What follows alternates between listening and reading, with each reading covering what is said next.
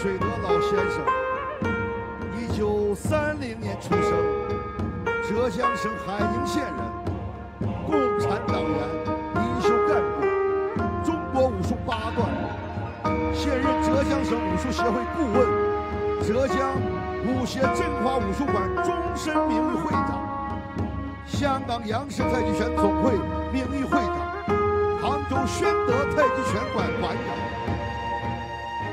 先生八十多岁高龄，依然耕耘于中华武术的传播。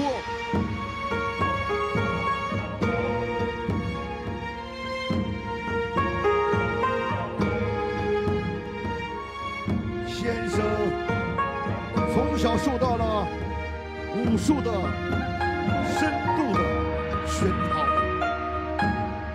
德艺双馨。倡导我中华民族国粹子发扬光大。他做顾问也好，做教练也好，所培养出的弟子皆是武术竞赛场上的佼佼者。我们感谢老先生。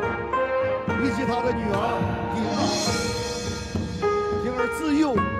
秉其父亲丁水德的亲传，精通杨氏太极拳剑、刀枪对练等，多次在国家竞技套路中贼金夺银。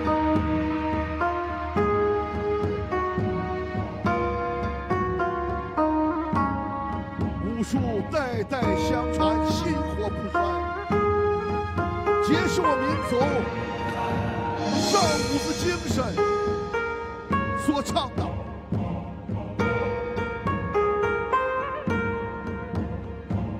古人云：“武术大到可以保家卫国，小到可以延年益寿，陶冶情操，竞技表演，文化交流。”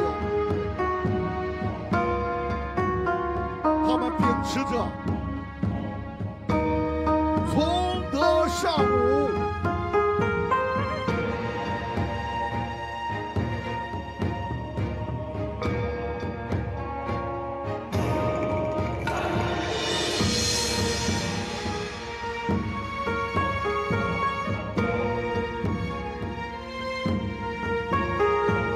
我们在三亚南山。